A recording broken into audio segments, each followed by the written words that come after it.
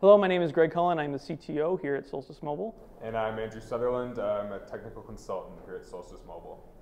And today we're going to talk about Project Tango.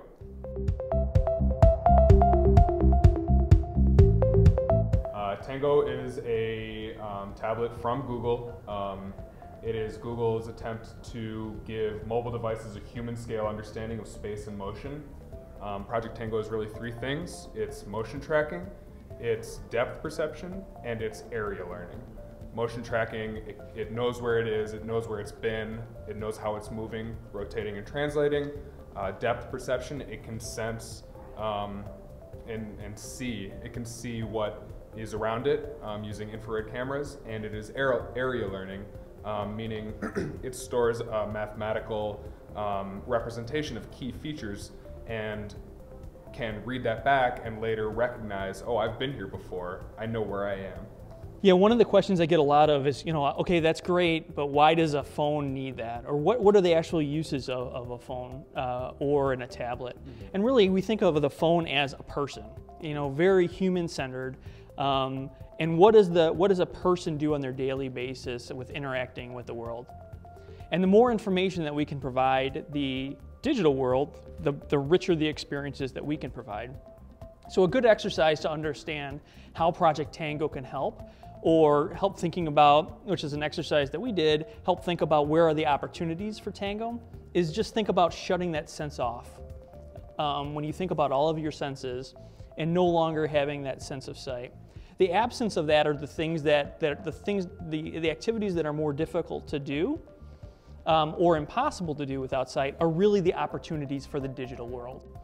I, I do find that to be one of the more exciting uh, features of Tango that it allows to the Tango project to, to for us to better uh, interact with, and that's indoor mapping. Mm-hmm. Um, you think about the changes, uh, the experiences that that has have opened up because of uh, GPS and mapping um, outside, um, and allowing that navigation the, I think that could be infinitely more um, profound uh, indoors within the indoor spaces. And you right. can think about in retail spaces, finding objects on the, uh, on the shelves, mm-hmm. optimizing shopping experiences.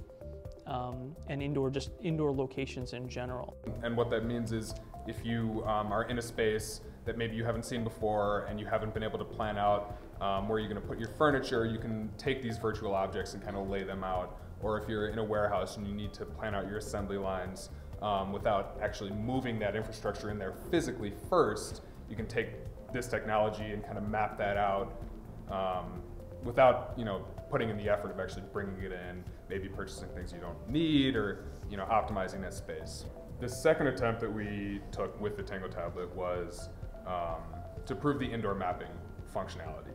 Um, the Tango tablet knows where it is inside of our building now that we've walked around with it and taught it the key features, the um, you know the, the boundaries and everything like that. So what we did was we um, have a beacon tour and we proved that the Tango tablet can find these beacons with because the space is so big with centimeter accuracy, maybe not millimeter accuracy you would get in a smaller area, um, can find these beacons without any of the beacon infrastructure.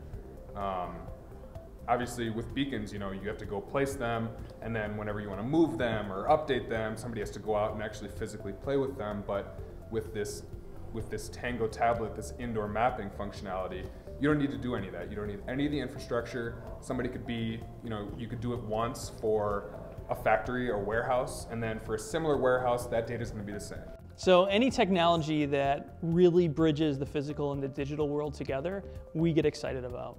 So while Project Tango explores the sense of sight, uh, we still have the sense of taste.